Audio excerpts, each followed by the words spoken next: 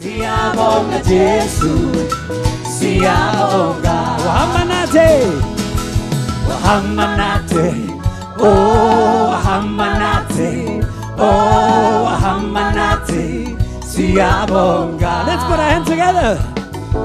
Wahamba nathi, oh wahamba oh, oh wahamba nathi, oh, siyabonga.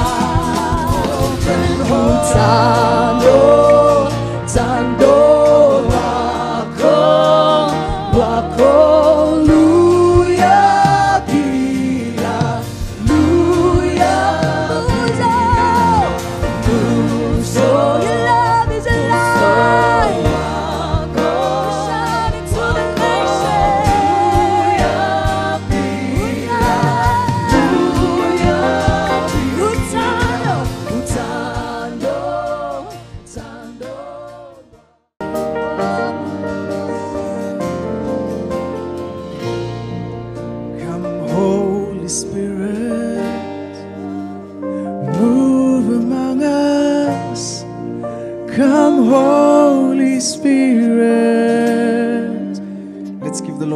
offering this morning.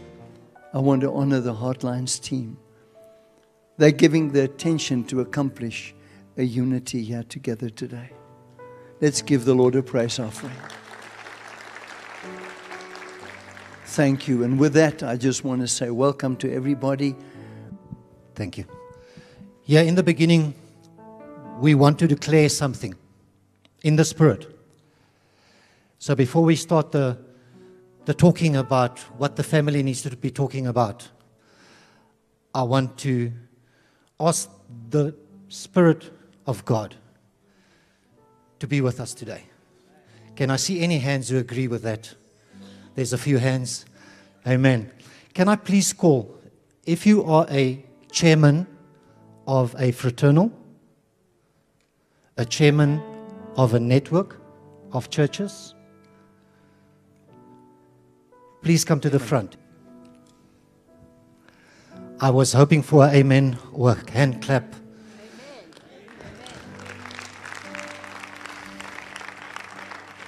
Hmm. Does anybody know that this moment has happened before? Can we testify of a moment before this? In this fashion, chairman of pastors, fraternals.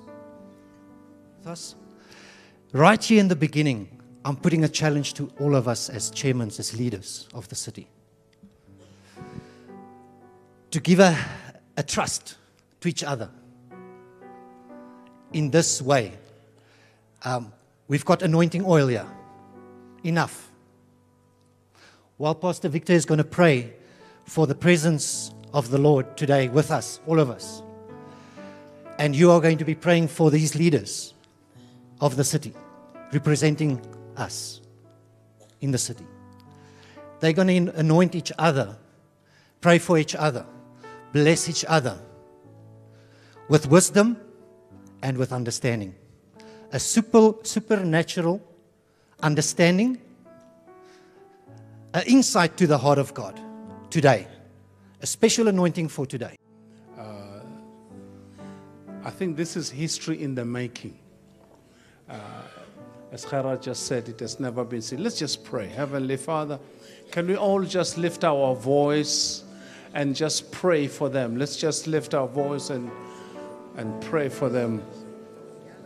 Oh, Jesus, Jesus, Jesus, Jesus, Jesus. Heavenly Father, we humble ourselves before the throne of grace. We humble ourselves. Ah, Father, the earth is the Lord and the fullness thereof. You are the one, my Father, who ordained this day. And we pray in the name of Jesus. You are the one who ordained this moment. And Father, we pray that you visit the city. Let the city be visited, O God. Use the servants that you have appointed to visit the city, my Father. In the name of Jesus Christ. In the name of Jesus. Oh, Father, we give you praise. We give you honor. We give you glory. We give you praise.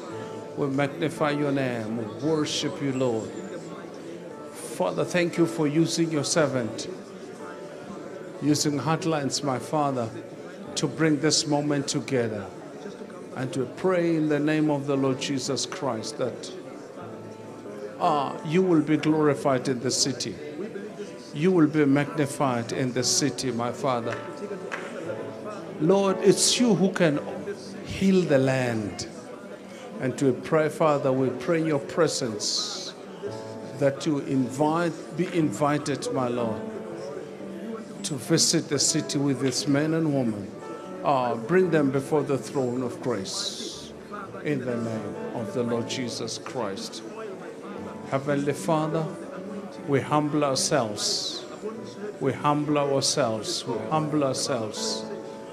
And Heavenly Father, we pray for the city. If there is any sin that we have committed as a city, we're asking today, Lord, forgive the city.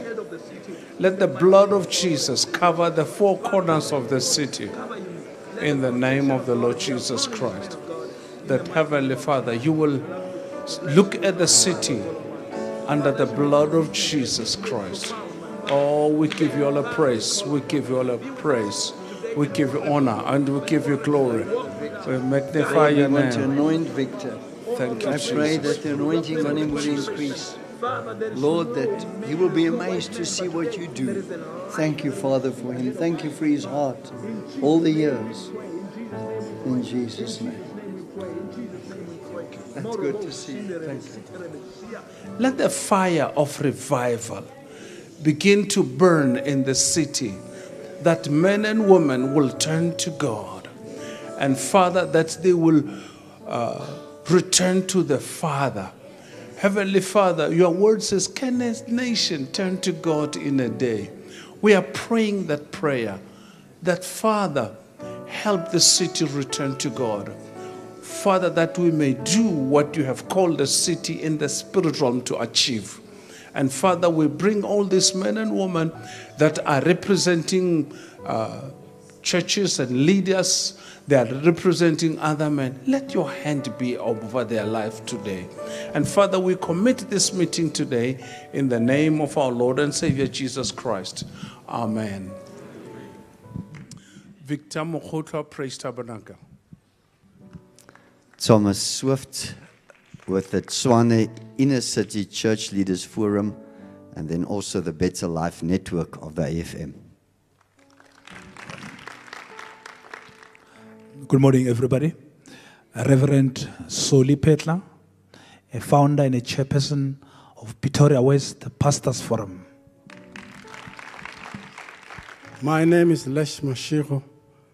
I'm a pastor in the AFM in Mamelodi, the fraternal leader for Mamelodi Ministers Fraternal. Thank you. Good morning, everyone. I'm Elijah Mbete. I'm the chairperson of a Bishop's Council called Preeminence in the East Rand, but from Bronkhorstspruit. Thank you. Neville Norden from the Living Word Network. Good morning, everybody. The name is Ben Moahi, Mamelodi Pastors Forum. The denomination is World Restoration Service. Thank you. My name is Josias Motlala, chairperson of Pastors United Movement of South Africa, PUMSA, from Amaskla. Morning, everybody. My name is Jack Lucky Antoni, Spoken Word Christian Ministries, and I'm here representing the Easter's Ministers Fraternal. Morning, everybody. I'm Archibald Malungwane, coming from Greater Ga-Rankuwa Council of Churches. Grace and peace to you all. My name is Anthony Marion. I'm from Laudium. The ministry that God has entrusted me with is Omega Family Ministries. And I also have a forum that the Lord has given me the vision. It's called CICF, Christ in a City Forum. Greetings, family. I'm Lucas Sitole. from the fraternal called Christian Obedience Fraternal. We're operating in Soshanguve. Thank you. Greetings in the name of the Lord. I'm Thomas Tungwani. Actually, I'm the deputy chairperson of the fraternal called ACA, is All Christian Community Association. So I'm standing on behalf of the chairperson because it's not available, but I'm the deputy chairperson. The ministry that I'm running is Faith Christian Bible Church. Thank you. Good day, brothers and sisters. I am Simon Mawela, the leader of Tshwane North Fraternal, being called TCLEF. And I am pastoring a church in Soshanguve, Word of Faith Explosion Center. Good morning. I'm David Legalagala, Oliven Local Council of Churches, and also FBO Tshwane Chairperson. Good morning, Saints. Willem Badenhorst from Moreleta Park Association and Tshwane Leaders Forum. Good morning, my brothers and sisters. My name is Isaac Longwane. I'm looking after a parish in Mamelodi called Evangelical Presbyterian Church, Swiss Mission, SFTM, standing for the truth. And here I'm representing our Ministers Fraternal Mamelodi Ministers Fellowship. Thank you. Good morning. I'm Jacob uh, Bushielo, representing El Mapias Pastors Forum. Good morning. My name is James Mokola.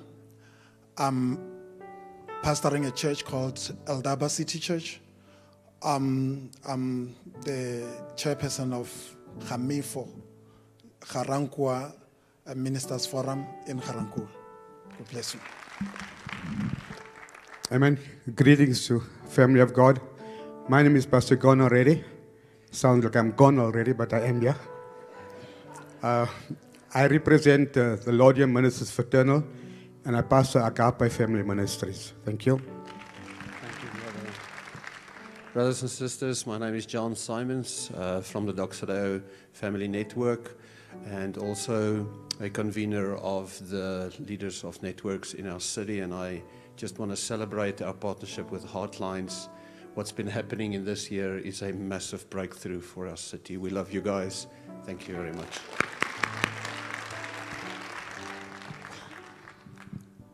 The church is in the room. The church is in the room. Maybe one so that the world will believe that you sent me, so that they may be one, so that they may be completely one, in order that the world will know that you sent me and that you love them as you love me. And then the next scripture in Ephesians or in Psalms Behold, how pleasant it is for brothers to dwell together in unity. For there the Lord has commanded the blessing. And then, lastly, in Ephesians, it says, The church. You see, it's not the peripheral to the world. The world is the peripheral to the church. The church is Christ's body in which he speaks and acts by which he fills everything with his presence. The question I want to leave with every one of you this morning as we go through this interactive process that I'm so excited about, and thank you for Heartlines for facilitating this process for us. The question that I want to challenge you with is what does unity look like? What does unity mean? Is unity participation? I know a lot of fraternals get together and there's, there's wonderful work that happens in the city for even fraternal leaders to come together and spend time together. Is participation unity? I put to you that Amos 3 3 says that how can two men dwell together lest they agree? And it's the conviction of my heart that unity is not participation, unity is agreement. The problem is, what is it that we agree upon? Because there's so many things that we disagree about.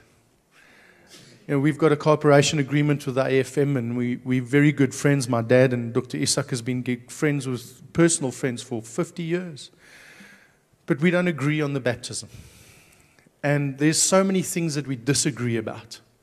But what is it that we do agree about? And then when we realize what it is that we agree about, how do we work together to forward the agenda of what we agree about? And even more difficult, what do we do with people that don't agree with us? I had a very difficult, difficult conversation with one of my mentors a few weeks ago, leading up to today. And as I invited him to come and join us today, he looked at me and he said, Why are we still talking about reconciliation so many decades after apartheid? Is that really still a thing? Do we really still need that? And the Lord just gave me the scripture in Romans 15 where it says, We who are strong must be considerate for those who are sensitive about things like this. We must not just please ourselves, but we should help others do what is right and build them up in the Lord. And then in verse 5, it says, May God, who gives this patience and encouragement, help you live in complete harmony with each other, as is fitting for the followers of Christ Jesus. What the Lord has called us for is a ministry of reconciliation. Somebody once asked me the question, For how long do we still need to reconcile? To which my answer was, We have the privilege to live the ministry of reconciliation for as long as someone's hurting, for as long as someone's offended. That's the privilege we were get given to reconcile man with God. And I want to challenge you this morning. Let's agree on that one thing. Let's agree on that one thing. When we got together as fraternal leaders and church and network leaders at, at the Bridge Workshop, um, there was a lot of ideas and a lot of thoughts, and there's a lot of things that we differed on. But if there was one thing that we agreed upon, it was that. Can I get an amen for those of you who were there? Pastor Lesh, it was such a blessing to have you in my group. We come from different generations, different ways of thinking. But there's one thing that we agree upon is that we need to be one. Because the problem is that in society today in South Africa, from Monday to Friday, we are forced to work together. But on a Sunday, we can do what we want. And I bow my head in shame that the church right now is the least integrated part of our society. And that blame lays at our door. It's in front of our door. And it starts here today with us. Let's just take a moment and just allow the word to come and work in our hearts. And this wasn't scripted and this wasn't planned, but I have to just follow the unction of the Holy Spirit. So forgive me for going a little off script. Pastor Lesh, can I ask you to just come and pray for us and ask the Lord to allow His word to come and change our hearts? Is that fine? Sorry for putting you on the spot. I just really feel in my heart that this is what the Lord wants to do this morning. Let's close our eyes. Almighty God, we thank you for your grace this morning. Thank you that as the day starts, you have already, you have already given us doses of your mercy. And we thank you in Jesus' name for that. We pray, Lord, now that your spirit will move into the hearts of every man and, and woman in this place to give us wisdom, understanding, and foresight that as we go on in this life, we'll do that which is your will. I pray for my brother as he's ministering this morning that you'll fill him with your spirit, wisdom, work in his mind, and they will put your words and anointing on his tongue for the glory of your name. We thank you this morning that everybody in this house shall be filled with the wisdom of the word of God. And the Spirit of God will put in our hearts that which you have intended for this day. I pray for all this, Lord, in the name of Jesus Christ, our Lord and Savior. Amen. Then you reply, Yes, you are the body of Christ. Yes, I am the body of Christ. Please say with me, You are the church. I am the church. Yes, you are the church. You are right, I am the church. Can I have amen? Now look the person in the eye and tell them, brother, sister, today I want to understand you. Please say it again, brother, sister. I want to understand you. Please share your heart with me. I want to listen with love, with my heart. I'm going to try and put my mind at rest and put my heart in front. I want to understand you more. If you agree, please shake hands, tell them you love them, and let's go. Tell them, let's go. Heartlines is an organization, not a church. We are not represented by anybody in this room. We don't have churches, we don't have fraternals. Edgar, just stand up and wave at least, because when I say us, at least that they know that's Ed. He's with Heartlines, he's with me for the day. And we are here to not to lead you. I can guarantee you, we are not, as Edgar and myself, Heartlines, we are not here to lead you. We want to serve you. There's a need. There's a breach that's not completed. And we hope that we will leave here today with a plan that we can actually agree that we'll go to the breach and do something about that incompleted breach. Beyond the River is a movie that Heartlines was key in making, the storyline. It's a true story from South Africa, and the two main characters is, is Duma and Steve. And some of you have seen the movie, and it's a great discussion starter to say, not everything is always going that well. Actually, we are frustrated at some, some stages.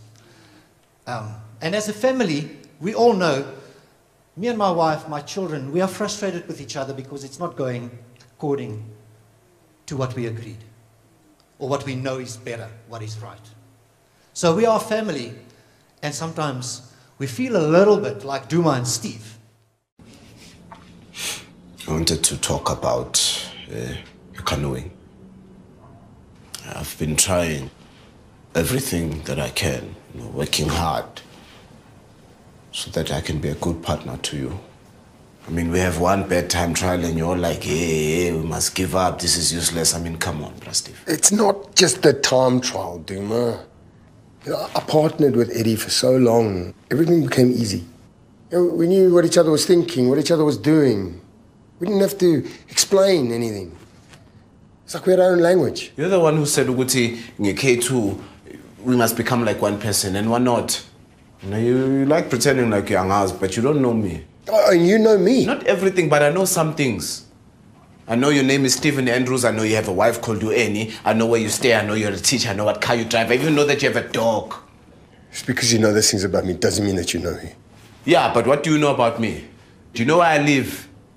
Do you know what my situation is? Do you know who my father is? Do you know who my family is? Uh, what do you know about these things? Nothing. Nothing. Zero. Do you even know what my surname is, Prastiv?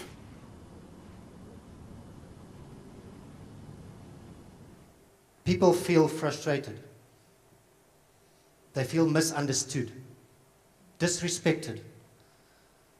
They feel put in a box. People feel sometimes that they are labeled, treated as objects, something that can be moved around. People feel frustrated. And people feel they don't know me.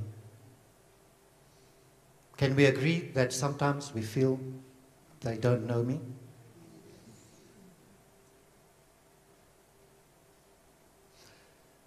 They don't know me, but they assume and they act as if they know me. Can we have trust if people make assumptions about you?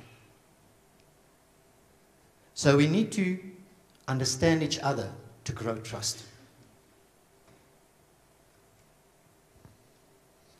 In South Africa, we've got a reality. We're not in Europe, we're not American, we are South African. Are we South Africans? Do we have a history? Is it a reality? We can wish it away, but will it go away? We have a reality. And that reality is that part of our history is apartheid. Is it true? It's true. And the church played a role in that history. The church were there. The church played a role. Maybe good, maybe bad. But the church were there.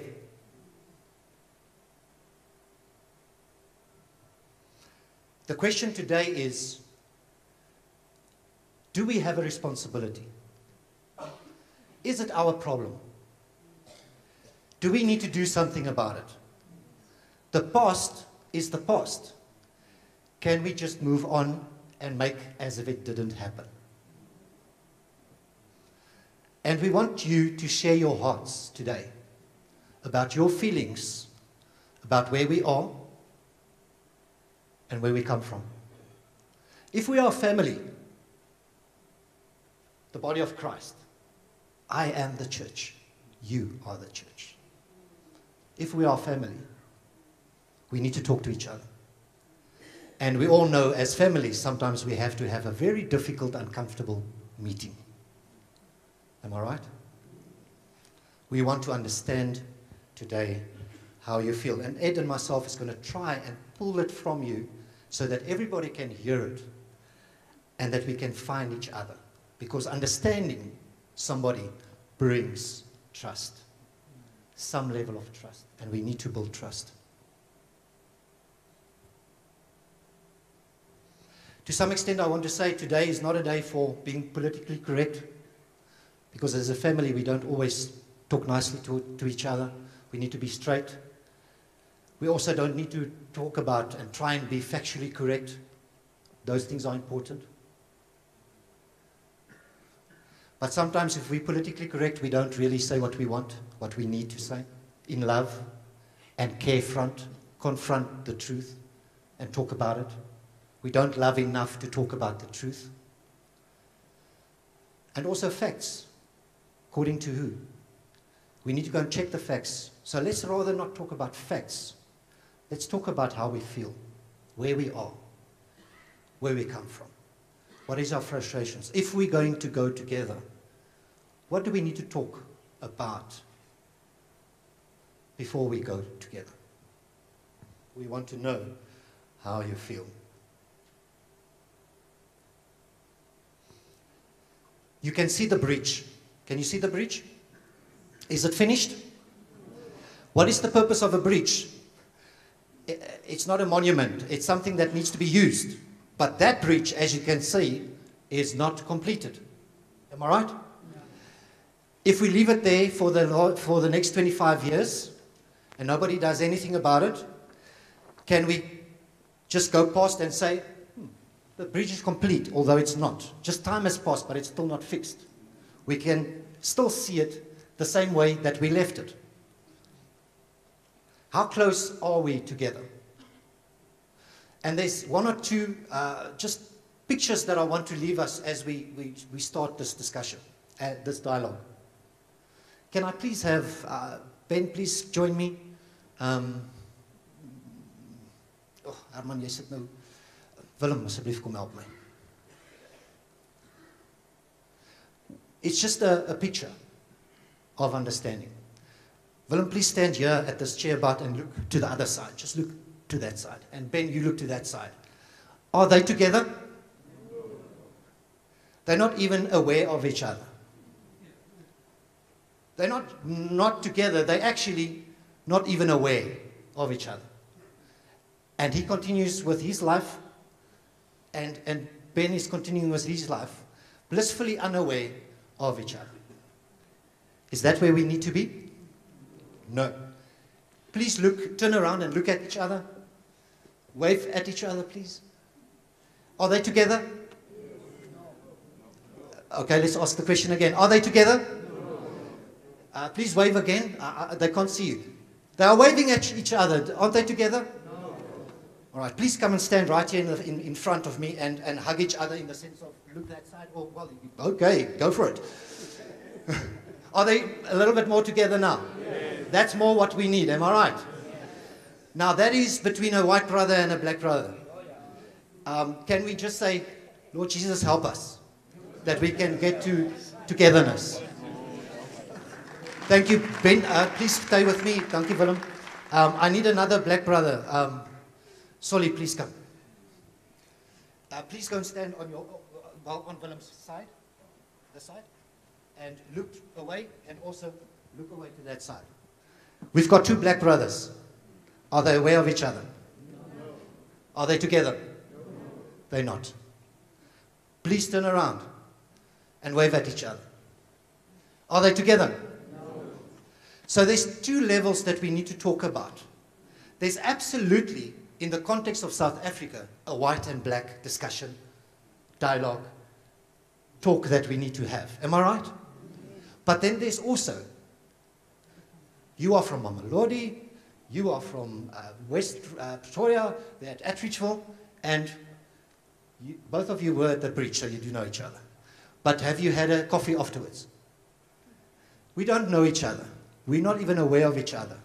And we come to meetings, we wave, and then we go to our own agendas, our own work, and then we wave again.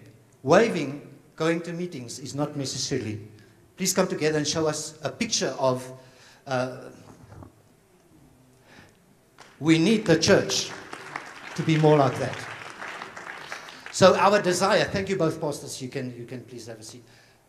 It's just a simple thing, but this is what we want. Um, and we need to talk about it because at this point we are not exactly there. So, how close are we? Is the breach complete?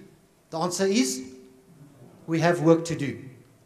And what I want to make clear from my perspective, and Ed can and comment on that if he, if he needs to, we are not on the bridge with gloves and machines working the bridge, fixing the bridge.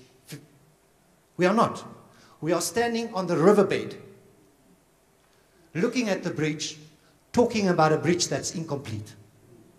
We are not on the bridge yet. We are just talking about, we realize, we observe, there's a dream, and it's not complete. And we, we need to agree, we need to talk about are we going to put on gloves and go together to the bridge and take the machinery and finish this bridge. What would your answer be if I'm asking, can we talk today about what it will take to go and build the bridge of reconciliation? Not just between white and black, but definitely about that, but also between different areas in the city that's not talking to each other, blissfully unaware of each other, doing their own things, not being different parts of the same body. So let's just think about that. And as we talk, talk into that direction. Edgar, you're almost up. I'm going to play a clip and then introduce yourself and go for it. Let's have a look. I am not black. I mean, that's what the world calls me, but it's not me. I didn't come out of my mother's womb saying, hey, everybody, I'm black. No, I was taught to be black. And you were taught to call me that, along with whatever you call yourself. It's just a label. See, from birth, the world force feeds us these labels. And eventually, we all swallow them. We digest and accept the labels, never ever doubting them But there's one problem. Labels are not you and labels are not me. Labels are just labels. But who we truly are is not skin deep. See, when I drive my car, no one would ever confuse the car for me. Well, when I drive my body, why do you confuse me for my body? It's my body. Get it? Not me. Let me break it down. See, our bodies are just cars that we operate and drive around. The dealership we call society decided to label mine the black edition, yours the Irish or white edition. And with no money down, 0% APR, and no test drive, we were forced to own these cars for the rest of our lives. Forgive me, but I fail to see the logic or pride in defining myself or judging another by the cars we drive. Because who we truly are is found inside. Listen, I'm not here to tell you how science has concluded that genetically we're all mixed and race in the human species doesn't exist, or how every historian knows that race was invented in the 15th century to divide people from each other and it has worked perfectly. No. I'm not here to lecture. I just want to ask one question Who would you be if the world never gave you a label? Never gave you a box to check? Would you be white, black, Mexican, Asian, Native American, Middle Eastern, Indian? No. We would be one. We would be together. No longer living in the error of calling human beings black people or white people. These labels that will forever blind us from seeing a person for who they are, but instead seeing them through the judgmental, prejudicial, artificial filters of who we think they are. And when you let an artificial label define yourself, then my friend, you have chosen smallness over greatness and minimized yourself, confined and divided yourself from others. And it is an undeniable fact that where there is division, there will be conflict, and conflict starts wars. Therefore, every war has started over labels. It's always us versus them. So the answer to war, racism, sexism, and every other ism is so simple that every politician has missed it. It's the labels. We must rip them off. Isn't it funny how no baby is born racist, yet every baby cries when they hear the cries of another? No matter the gender, culture, or color, proving that deep down we were meant to connect and care for each other. That is our mission, and that is not my opinion. That is the truth. In a world that has sold us fiction, please listen. Labels only distort our vision, which is why half of those watching this will dismiss it or feel resistance and conflicted. But just remember, so did the caterpillar. Before it broke through its shell and became the magnificent butterfly. Well, these labels are our shells, and we must do the same thing so we can finally spread our wings. Human beings were not meant to be slapped with labels like groceries and supermarkets. DNA cannot be regulated by the FDA. We were meant to be free, and only until we remove them all and stop living and thinking so small will we be free to see ourselves and each other for who we truly are.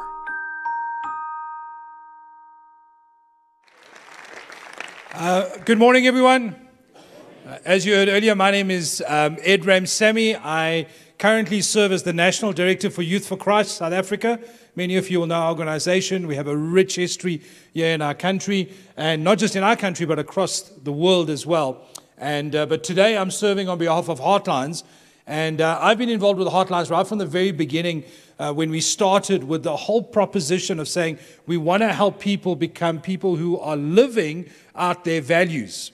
Um, now, you would all understand, right, that value shapes behavior. True? And so I want to ask us this morning, as we've gathered here, leaders of churches in this beautiful city of Tshwane, what's your value? Do you value the very thing that we've been talking about for the last little while? Do, if, because if you value it, you will live it. If you value reconciliation every single moment, the illustration that Gerard just showed us with those brothers, you will live that. You see, but the problem is there's this thing that, that we call, what I call silent debate. You saw the video clip, it's all about labels. We label people. We all do it, don't we? Uh, ladies do it a little bit more than men. Just let me help you out here. So I do this workshop called Men Are Like Waffles, Women Are Like Spaghetti. Because men, we like all our stuff in little neat little boxes, right? It must be in that box, and then we deal with it, then we go to that box. Women are like spaghetti, everything is gemors. It's all ingemengel and everything's connected. But what I learned from ladies, and this is such an important thing, is that when men walk into a room and they walk in and they greet each other and they go, Hi, my name is Ed. Nice to meet you, Gerard Broer. Yes. I know in Pretoria when you get greeted, Broer. And we look at each other, and it's probably about three seconds, Marcus. It's probably about three seconds. I look at him and I go, Right, yeah, cool. But ladies, it's a little bit different. They'll look at each other, and they'll probably take about five seconds, right, ma'am? But maybe even more. You're right. Thank you. Maybe 10 seconds. And they will, what I call the scan. And they'll look up and down and they'll look from side to side. See that sister is nodding her head. Yes. Yes. Tell the truth. Shame the devil. Tell the truth. They scan and then they go, hmm, hmm, hmm, hmm. Now, this is all happening silently, right? In their mind. They're not saying it out loud. No, no, no, no, no. But here's what they're thinking. Guys, can I let you in on a little secret? Here's what they're thinking. Yo, yo, yo. What was that sister thinking? Hmm, hmm, hmm. How could she wear something? Either it's too short, it's too long, it's too tight, it's too loose. And then my favorite, my favorite, recently I heard this, my favorite is should a lady her age be wearing that? Oh, hey, hey. And then the older ones, they go, oh, these young ones. Ay, ay, ay, ay. And we have this silent debate. We have it about the way people dress, we have it about the way people look. And can I be honest? I want to make a confession. I did that once. I judged someone. I'm standing in our local Caltex. I'm grabbing a coffee from the Seattle coffee shop. And while I'm standing, when I walk in, I notice that there's a stunning Ferrari. Man, it was smart. It was red. It had those white leather seats. The top was down. You, I was looking. Now, I wasn't coveting. Don't judge. I was just admiring. And then I thought, man, I'd love to know who the owner of this car is maybe I could get a ride.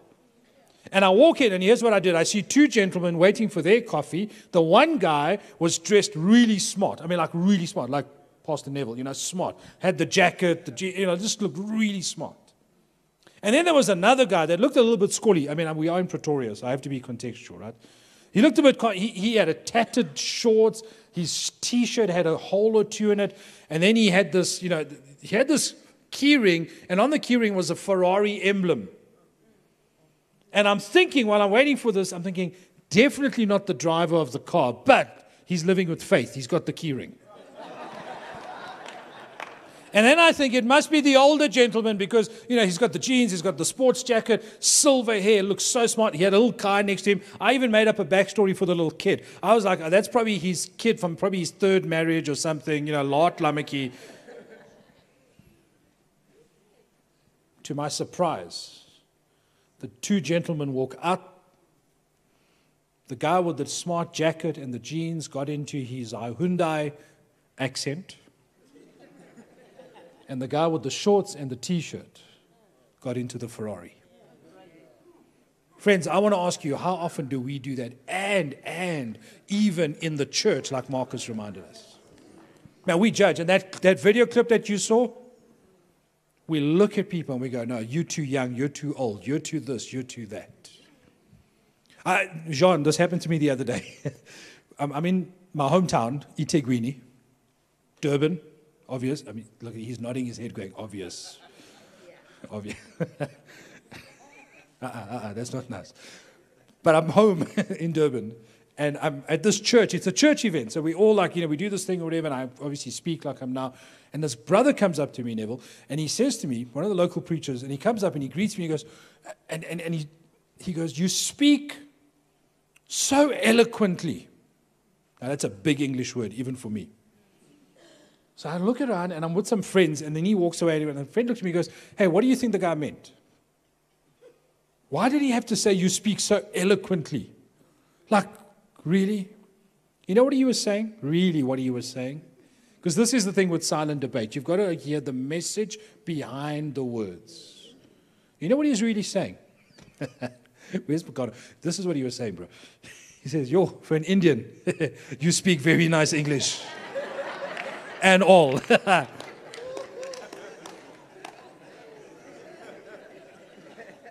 What he was really trying to say to me was this He goes, Man, you don't sound like all the local Durban Indians. You're not even shaking your head when you talk. And so, what does he say? You speak so eloquently. You see, these are the kind of debates that are going on. And even, and I'm sad to say, and this is why we do the work we do, even in the church. And so I want to ask us this morning. There's this great story we tell as Heartline. Some of you may have heard it already, but, but I really want to say it again. Uh, so, so there's this time in Rome where uh, the Jewish people and the Catholic Church was having this, this fight. The Jewish church and the Catholic people were having this fight, and so they decided to have a debate. And they said, right, whoever wins the debate is going to be able then to, you know, the Jews can stay in Rome because the Catholics wanted them to leave. Bishop, you know, the bishops and the Pope weren't happy and they said, right, but here's what we'll do. We'll have this debate between the Jewish people and the Catholic Church, and whoever wins gets the, the you know, if the Catholics win, the Jews must leave. If the Jews win, they can stay in Rome. They all agree. So they go back to their own quarters. All the Jewish people get together in the synagogue in Rome, and they say, "Right, who's going to stand up against the Pope and debate?" And no one. You know, they're like, "No, no, no, no, no." no. And then the one guy, he's the cleaner, Moshe. Moshe says, "Hey, I'll do it." And they all look at Moshe and they go, "Really? Okay, the okay, cool." He comes, he stands, and there's the Pope, and there's Moshe. Pope starts, puts his hand up, and he says. Because the challenge was that they could have this debate, but they had to have it in silence. Can you imagine how many of us would really struggle with that? You can have a debate with someone, but you're not allowed to speak. I would never be able to do that. So the Pope stands up, and this is what he does. He starts, it's a silent debate, stands up and he goes. Moshe looks at this, thinks for a moment, and he goes, Pope's like, wow. Taken aback, he steps back, he goes. Moshe looks, thinks for a moment again, strokes the chin, and he goes.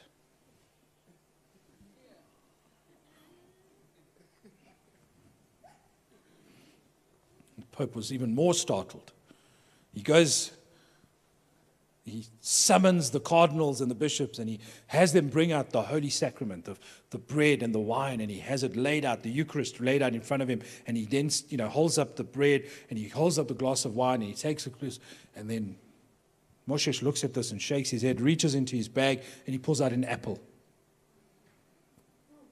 and the pope steps forward and he says the Jews have won the debate they get to stay in Rome and there's great cheering, and the Jewish people get all excited. They go and lift Moshe up. They put him on their shoulders, and they march him out of the, you know, the cathedral, and they walk to the synagogue, and everybody's happy. They get back to the synagogue, and they say, Moshe, Moshe, what happened? And the Catholics go to the Pope, and they said, what happened? And the Pope says, well, here's what happened. We started the debate, and I said, there is only one God. To which he then turned around and said, you know, God, you know, there's only one God. And he said, No, but Father, Son, and Holy Spirit. He said, We're going to round up all the Jews and we're going to run you out. And Moshe said, We are standing right here. We're not going to move. And then what happened? And the Pope said, I did the most amazing thing. I, I brought out the elements, the bread and the wine, to symbolize man's sinfulness and the forgiveness that is in the blood of Christ. And what did Moshe do? He took out an apple to remind us of the fall of man and the depravity of man from the beginning, and that we are all sinful in the sight of God. And so I couldn't argue with that, and they won. But while over at the synagogue, hold on, hold on, it gets better. Over at the synagogue, there's cheering and and everyone's kind of chanting Moshe, Moshe. And they said to him, "But "So what happened? Tell us, tell us." All we could see was the signal. He goes, "Well, it was strange." Because the Pope said, you know, in one day we're going to round you up. And he said, no, not one day will we move. He said, you know, within three days, he says, you know, all we're going to round you and move out. He says, we're going to stand right here. He says, and then the Pope did something strange. He brought out his lunch. And so I took my lunch out because I thought that's what we were doing. You see, friends, this is what happens so often with us. And when it comes to that, and I was thinking, and, and, and I'm going to just wrap with this before I hand back over to Gerard. There's a moment where Jesus, in Luke chapter 15, it's a fascinating passage of scripture, by the way. In Luke 15, you know, we always look at the story of the lost coin, the lost sheep, the lost son. But the first few verses for me is so pivotal to reconciliation as well. Because Luke 15 talks about the ultimate reconciliation that Christ came to secure for us. The Bible talks about how we were separated from God. Right from the very beginning of time. In the Garden of Eden, we became separated from God. Therefore, we needed to be reconciled with God. And when Jesus came and lived on this earth, you know where we find Jesus? With the people who God was reaching out to to be reconciled with. And Luke 15 says he was spending time with sinners, with tax collectors, the people that the rest of the religious people had just pushed to the margin. And they say to these disciples, Why is your teacher spending time with these people? And what does Jesus do? He begins to build a bridge. He says, The Son of Man did not come to, to be served, but to serve. He said, The Son of Man came to seek and save those who are lost. And then one of my favorite stories, Mark chapter 2. It's the story of those men who bring their friend to Jesus. Remember it? You should remember it. Okay, a few, okay, I'm getting really worried about the church in Tshwane. Do you know the story of the guys who rip open the roof and lower their friend to Jesus? I had to give you a bit more, right? Yeah, yeah.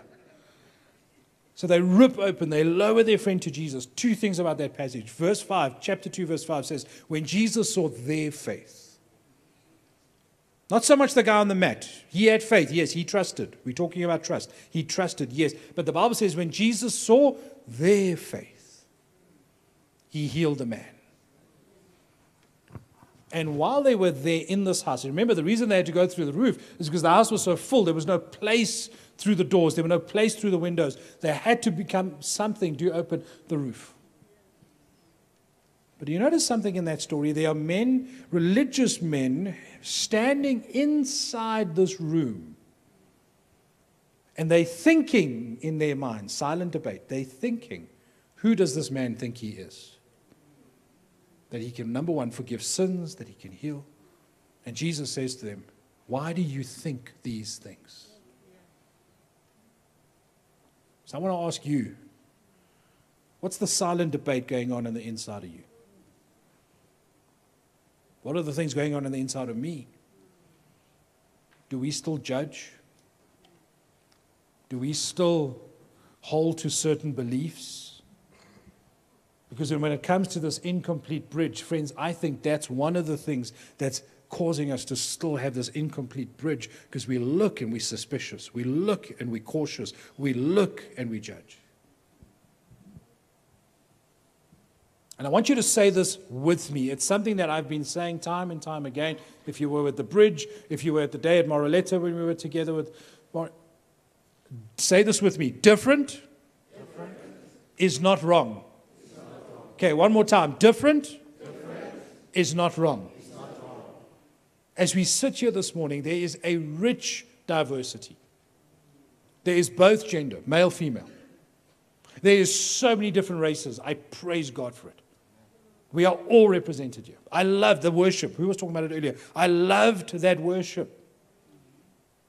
I even sent it to my Facebook followers because I said, hey, you get a foretaste of heaven.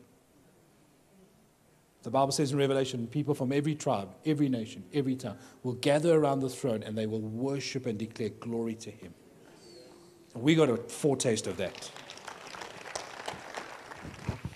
So we got to worship together we got to suspend. And I want to ask you, what is it that you and I need to suspend as we continue through today? It was different, but it different is not wrong. Because when Jesus looks at us, he doesn't see the difference. He sees the heart. Can I do one more illustration, Gerard, before I hand over to you? I'm going to be generous. You've never seen an Indian actually give money, have you?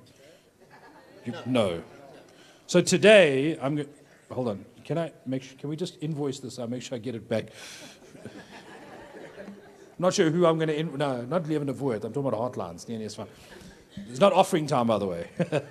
so this is a 100 Rand note, okay? Can you just verify that? No, no, don't. Just look. We'll talk about trust later, but okay, so you see, it's all, it's a legit, legit. Yeah? Danny? It's legit. Yeah. It look, ah, sugar. It's legit. Okay, one Madiba. Okay, do you want it? Okay, hands up, hands up. Who wants it? Yeah, okay, cool. Okay, do you still want it? Hands up. Yo. Hold on.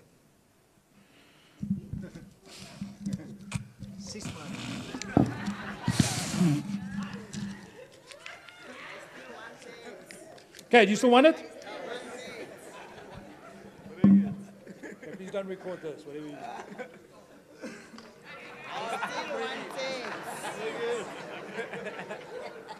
Okay, hands up. Hands up. Who still wants it? My goodness. You people are disgusting in Pretoria. Seriously. Why do you still want it? You still want it, Sissy? After everything I've done to it? Why? But why? Yes? Like, it's still, it's still, you sure? I noticed some hands went down. But what surprised me, and this has never happened in any of the other cities, it is the first time, and sir, you are moving towards a holy city. It is the first time white people left their hands up when it got to this stage. In all the other cities, the moment we get to this part, the Molungus are like, oh, we're out. Uh, no, we're done. We're done. Uh-uh. Uh, you keep your uh-uh, uh-uh, uh-uh. Hey, but the comrades, yo, ah, it's 100. No matter what I do on the outside of this note, the value never changes. Now, if I can do that with a 100 Rand note, how much more when God looks at you? No matter what label people have put on you, no matter how people have judged you, no matter what people have said to you and about you, when God looks at you, he sees someone who's fearfully and wonderfully made. He sees someone who is not going to be the label. Yes, I, I, have, I am male.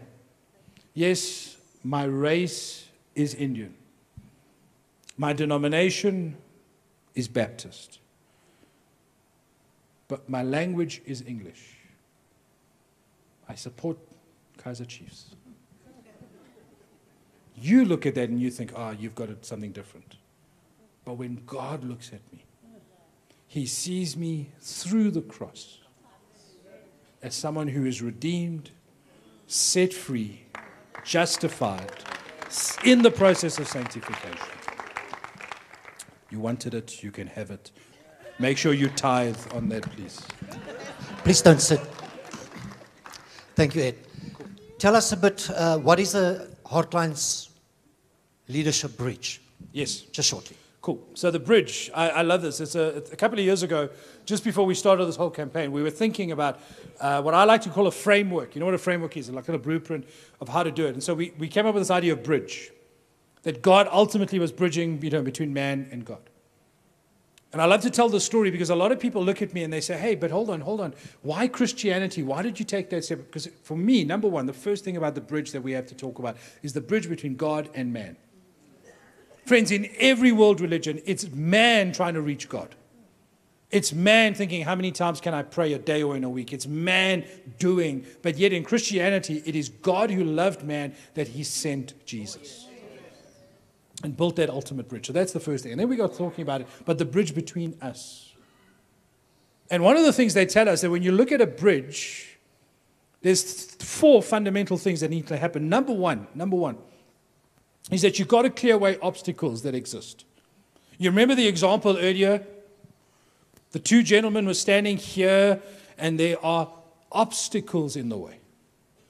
And it could be a whole lot of stuff. We've mentioned some of them already. We look at each other, we see the racial difference. We look at each other, we see the gender difference. We look at each other, we see the language difference. And even for us within the church, there's even the denominational differences that we hold to, the example you gave. And so, number one, we've got to clear away those. Before you can even begin to build a bridge, friends, you've got to then clear away those obstacles. How can we dwell together? We talked about Amos. And yet we quote those scriptures, we preach these messages, but yet we still have those obstacles between us. Number two, and this for me is fascinating, we, we, and, and the movie Beyond the River illustrates this so well. We've got to begin something called simultaneous construction. Say that with me simultaneous construction. You see, you can't just have one place. And that was what young Duma was telling Bro Steve. He was saying, Bro Steve, I come to you and I train. I come to you at the time you want. I know everything about you. I know your name. I know your surname. I even know that you have a dog, which he was scared of. But he turns and he says, But Bro Steve, do you even know my surname? Do you know where I live? Do you know my family? And so, friends, so here's the thing when it comes to this whole idea of simultaneous construction, it has to happen that we both start sharing.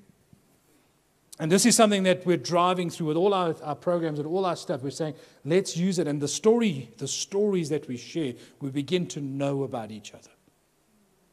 We begin to find out, you know my name, but do you know my story? Thirdly, so number one, you've got to remove the obstacles. Number two, you've got to do simultaneous construction. Number three, you've got to focus, and especially for us as the church, we've got to focus on the correct keystone that Christ in us. And so for me, when I focus on that, I look at it, and Paul writes in 2 Corinthians 5, he says, that God is busy reconciling man to himself through Christ.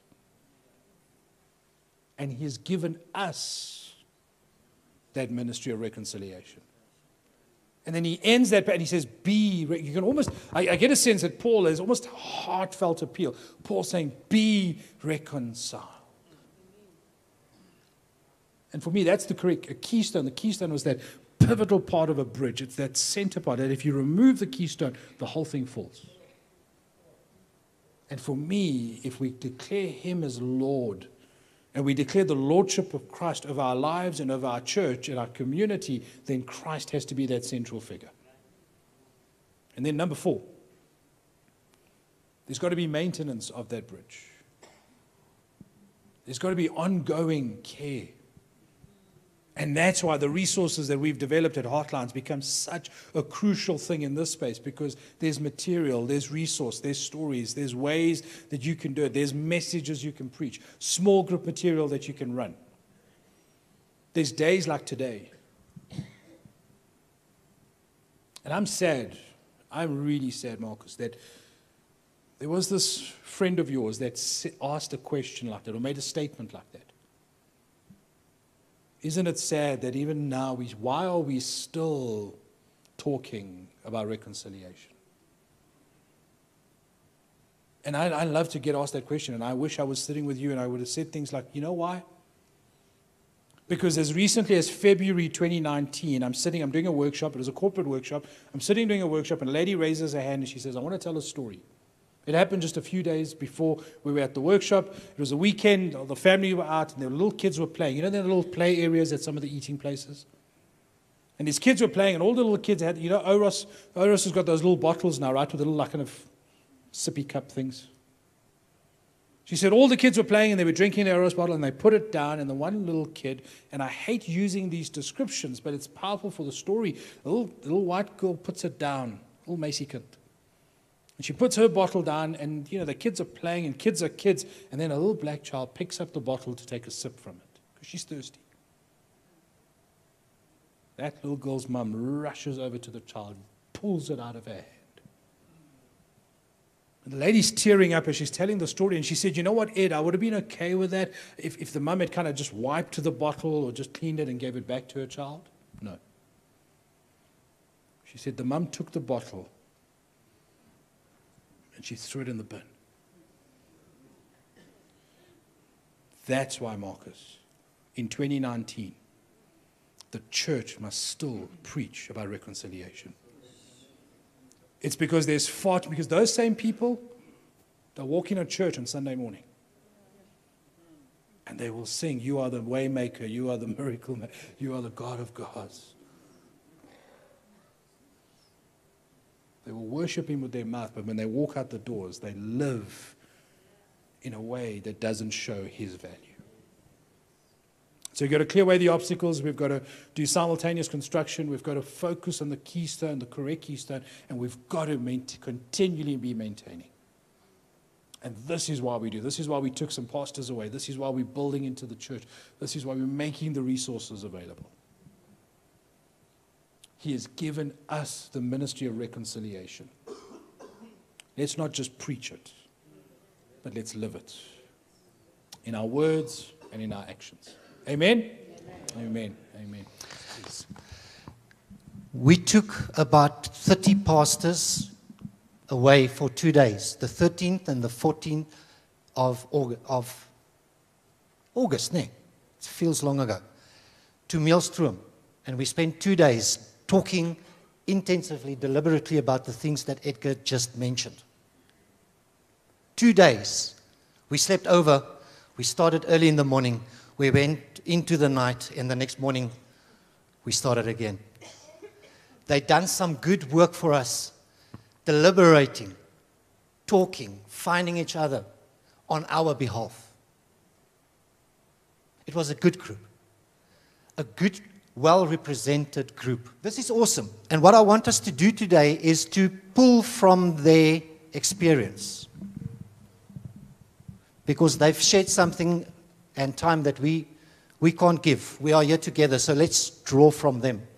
So we want to honor and acknowledge you that this is the group of pastors, leaders who went and built some bridges and talked about the bridge that's incomplete. So when, when we started the, the first day of the two-day process, um, we asked the participants that you see up here with us now, uh, what are your expectations? What are, what are you hoping to achieve after we had kind of set it up and told them what the journey was going to be? What are your expectations for the two days? And so the, the, the strong sense was that we want to build a network. Uh, there were some existing relationships in the room, but also a strong desire to build new relationships, which again is the body of Christ. We, we were excited. The whole idea of building bridges, um, which was the theme, obviously, of the two days. Um, and then also an expectation of forgiveness. That, and I think we said it earlier today as well, that a lot of stuff had happened in the past. Uh, the church sadly was on both sides of that story.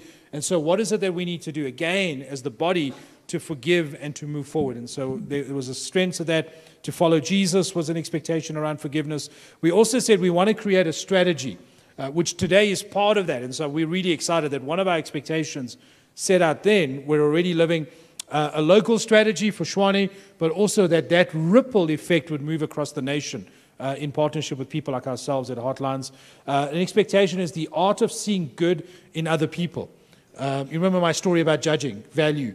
When I see value in you, I see you the way God sees you. And so I think that was achieved. The art of simple living, um, that again, we're not living extravagantly, we're not living beyond our means, but there's that simplicity that Christ calls us to uh, and to live the way He would want us. An expectation of unity. Um, and for me, that's such a strong thing to, in the midst, again, we said it, we want to celebrate our rich diversity, but we want to be unified. We, we, we are one. Uh, you quoted John 17 earlier that Jesus prayed, Father, I pray that as we are one, that they may be one. Uh, it was our expectation on the day. Uh, ideas to empower the local church and the leaders, uh, rec- reconciliation. Uh, we wanted to see the, you know, amongst the under resourced churches as well. So it's not just a race thing, it's not just a black white thing, but even within our communities Afrikaans, English, Portuguese, you know, it, even within the communities, uh, black, different tribes, different clans coming together. So, how do we, how do we facilitate that reconciliation? Uh, we wanted to see inclusivity in our local churches. Again, the comment, you know, has often been made that that time on a Sunday morning, the church is still very divided we walk into our churches, we're not seeing inclusive church. Um, we want an expectation of getting to know each other. And so that was fun. We had some activities. We told some stories. You guys remember, you draw your rivers. I want to tell you that a lot of the pastors in Pretoria are not very good artists. I, I have to be honest. Because some of those did not look like rivers. I'm not sure what they drew. But, um, but, but what was important is how people got to know stories. And there were some beautiful moments as people were reminiscing and thinking about the past. People were going, hey, I remember that guy, or I remember that church, or I, I remember going there. Remember, we did this together. Oh, were you? And, and suddenly, it's amazing the power of story as it emerged. What a richness of knowing each other. Uh, we want to cross the size divide in terms of different churches. Uh, you know, there, there's this church size. Uh, the expectation, Gerard, was establish and maintain relationships. So they were, we wanting to establish new relationships that happen around the table, but the idea of maintaining, I think Herman, was hy.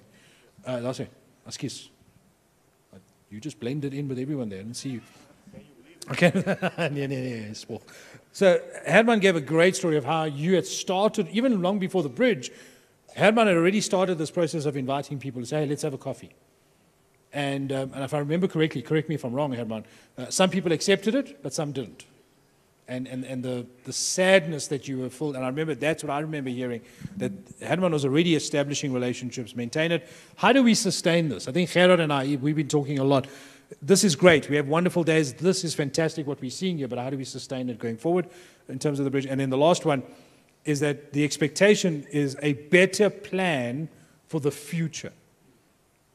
The bridge is on a journey. We're on our way somewhere. We're moving towards a future, a preferred future. That's vision. Leaders have vision. But what does that future look like? That, that unity that we preach, this oneness in Christ.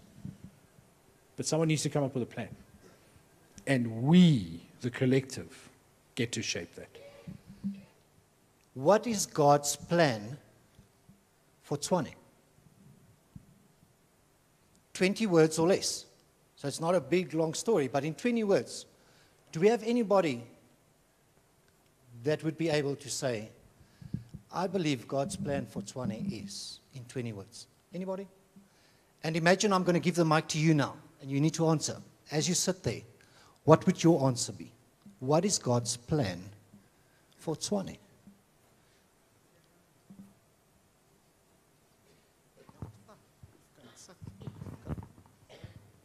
Okay. Okay, greetings again. Um, I believe God's plan for Tshwane is to see the church as one throughout the city and contributing to the body of Christ in preparing it for his coming, being the head himself. Thank you, Lucas. The next question is why should we build bridges? And you should be ready for this one. This one is easy one. Who's ready for me? Bridge guys? Don't smile. Answer. because I believe that's in the Lord's heart. That when we build bridges and, and, and, and move towards one another, that there will be a unity amongst us and the Lord can pour out his blessing amongst us.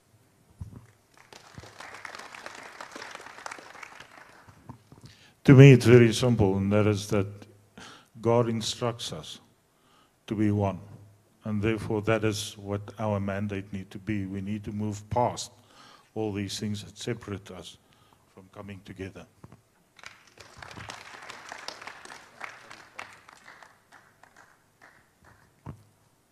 We need to bridge to, to build these bridges as, as, as the church so that we can claim back our city, so that we can claim back um, whatever that God has given to Tshwane. We can't do that if we are, we are divided.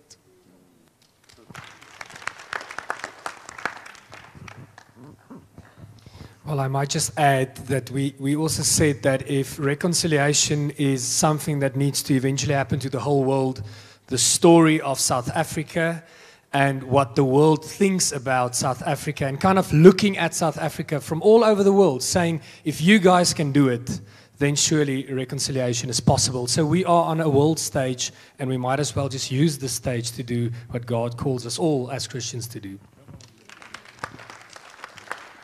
We as church has got a testimony to the world outside. And the Bible says, by this people, with the love that we have among one another, the world will see that we are God's children. So let us testify, let us do what God wants.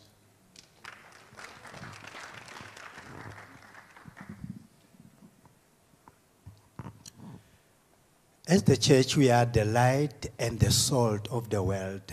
It is the church that must lead. Most of the time, we are led by politicians, but the church must take the upfront and lead. What roles, what role will bring the best benefit to fix and change and develop Tshwane as it should be? Is it government? Anybody? There's one or two. Thank you. Business? Okay, there's here and there. NGOs? Are we NGOs in the house? Awesome, bless you. And then um, private sector? None. And then uh, we would clap for the church. So before we move on, I think you're right, sir. I think there's an element of truth in that. Yes, I mean, the church is the light. We are the hope of the world. But the church can't do it in isolation. And I think for too long, sometimes we try and do it in isolation. We need to come together and we need to say, right, how do we, how do we take hands? So if we are the hope, then as the church, we need to take hands with the business and say, right, what's your role? How do we play together? The bridge. Then we need to take hands with the, the, the, edu, you know, the education system. We need to go to schools and we need to say, because our children are spending time, both primary and high school, they're spending a lot of time in schools. Imagine them learning while they're at school as well the importance of this inclusivity. We need to take hands with the NGOs. Uh, and I'm wearing my NGO cap for a moment. We need to take hands with NGOs and say, right, how do we work together? We need to take hands with the private sector because it's a concern for all of us, but as the church, we become the salt. We are the light. And as Jesus said, a city on a hill cannot be hidden. And as the church, we need to be infiltrating in business, in the private sector, in government, in NGO space, in the community, across the space, so that we can then be what Gerard's just put on the screen, so that we can then be the hope for the city. But we can't do it in isolation. Hmm. We have to take hands, we've got to learn, and we've got to move forward. The consequences for not building bridges is because of a diverse, we will live a diverse, as a diverse nation, we will not be able to accomplish. Because as the picture shows, it's an incomplete bridge. We will not be able to move over from the one side to the other side to enjoy what the other side have. So also the other side will move over to where I am on the other side, which shows that there is still a division. As soon as we can become divided, the consequences will be less and we will be able to enjoy the fruit of our works. Solly, um, if you are ready after Pa- Pastor Peter and then Uh, you know, I believe that uh, uh, reconciliation is the truth of the Word of God. And when we take out our label as churches, black and what, but we work together as a church, then there will be great thing in South Africa. Amen.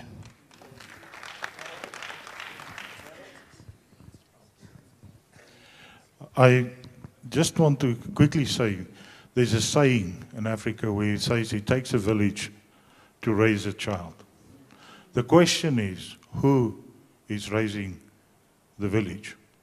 And I believe this is the consequence of us as a church not building bridges is that there is no, no one that is raising the village. That is why we've seen the church being sidelined and where the church in the city no longer has a voice to give momentum and direction to where we need to go.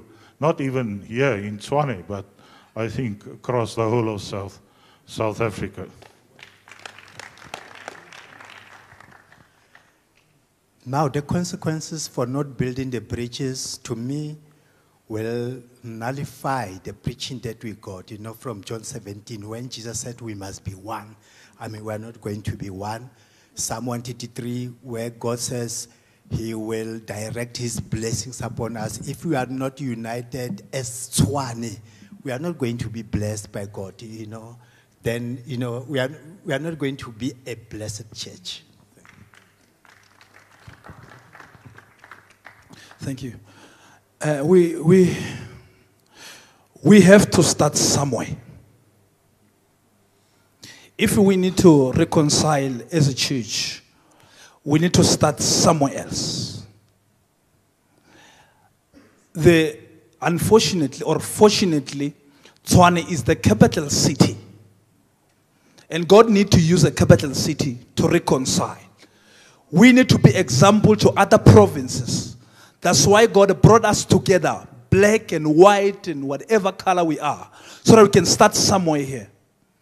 If we realize in Tshwane, all these things happen in Tshwane, crime, eh, all these things that are happening in Tshwane, that we talk about, everything happened in Tshwane. Why? Because it's the capital city. God start to reconcile here in Tshwane. If we have to talk about the old stuff, we're not going to go forward. God brought us together, all of us here, because of God want to use Tshwane as a capital city. That's why we brought black, white, everybody to come. I want us to start now. Of course, we cannot forget about what happened to, to our history. History, our history, we cannot forget about it. But we need to start a new page. All of us here, in this season, in this generation, all of us. We cannot stop uh, blaming one another all over. No, it's about time that we take a step of faith. We come together. We work to up the build, uh, building the bridges for Tshwane. And the time is now, and the time is today. That's why we're here.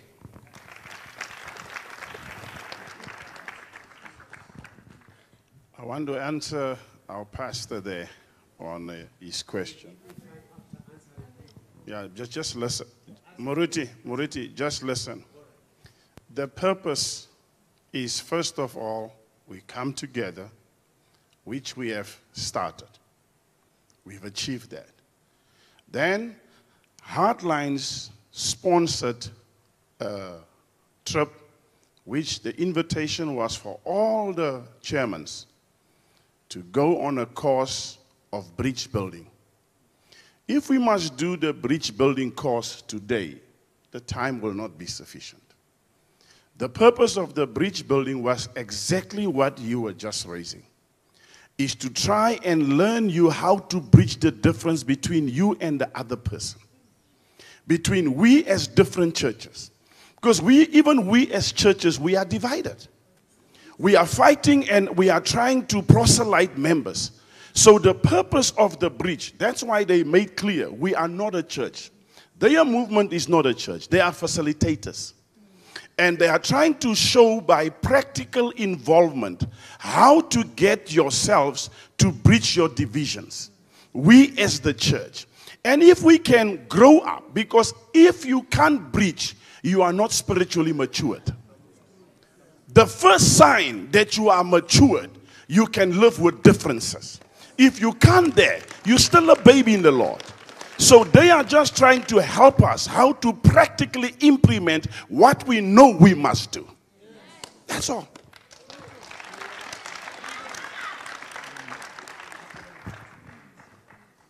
I think the consequences of, of, of not building bridges is that could be that the church will be swallowed by ideologies like Pan-Africanism, nationalism, and the others. So what, what, what the, the, the group discussed in, in, in Maelstrom the other day was that in reconciliation, they, they identified that some churches were privileged.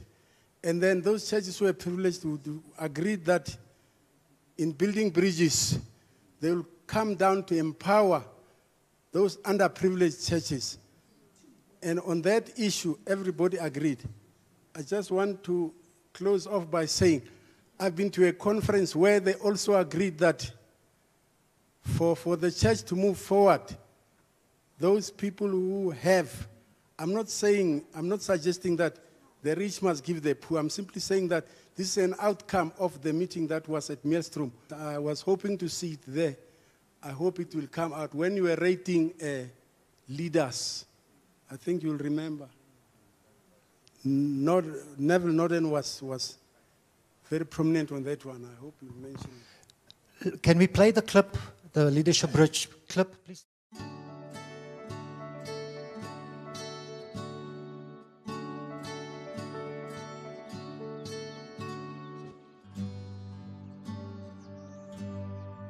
The Bridge Leadership Engagement is a unity building process targeting leaders of a particular system.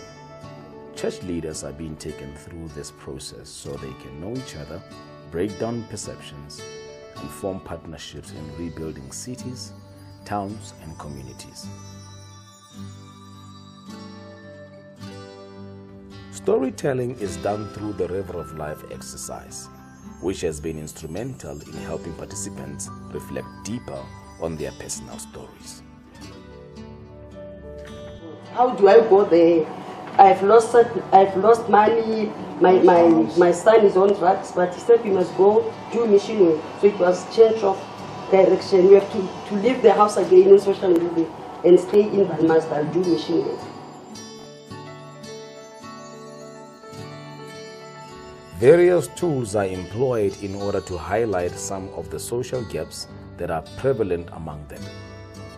Once they have gone through these exercises, they are challenged to change the way they perceive one another from now on. Now, what I'd like you to do is take a moment, just look around, look around the room. You've kind of had a look at the questions, you looked at the scoring. What is what are some of the thoughts going through your mind as you see this now being kind of the room, but now being represented in this way? I think this breaks down the, the barriers yeah. in our first. Now that I'm with Neville here, yeah. and then like he says, our expectations would say, whites there, yeah. blacks here. Yeah. But then it tells you, unless you know the story, yeah. then you will know. so that means I need to hear Neville's story because it's not all the perceptions that I have about whites. Mm. There's more to learn. Mm. And then when you sit and listen to his story, you will understand that you are not only the one who suffered, somewhere somehow you also suffered, and that's why we are on the same page.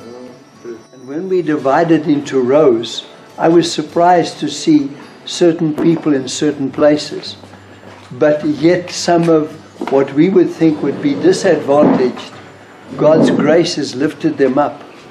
And uh, I see that the grace of God can bring the church together if we're prepared to pray for one another and love one another.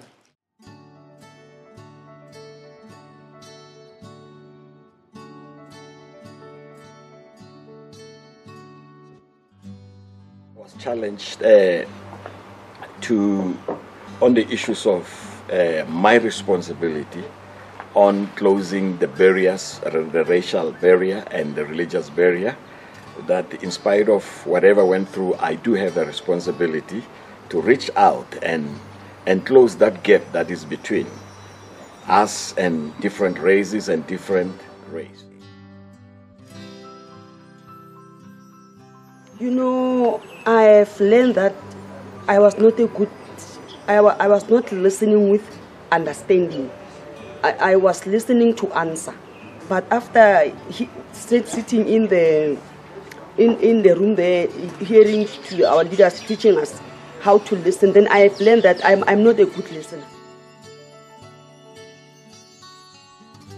hearing some people's story it's it's it's very crucial um, in this time and age we we we are meeting people or we are fellowshipping on a pretty superficial level and when i listen to other people's story i realize that i might be talking to somebody that i needed to go and listen to their story first deep and that will make me uh, to understand the people I am fellowshipping or relation or in contact with.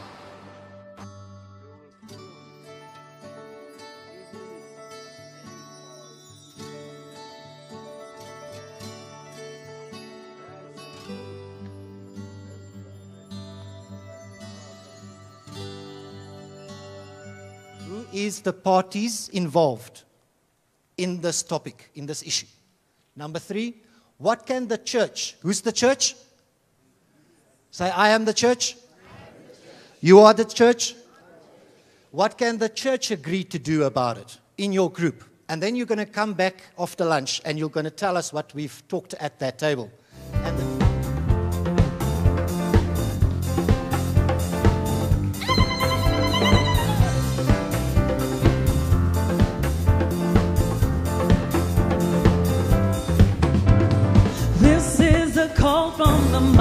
Of God.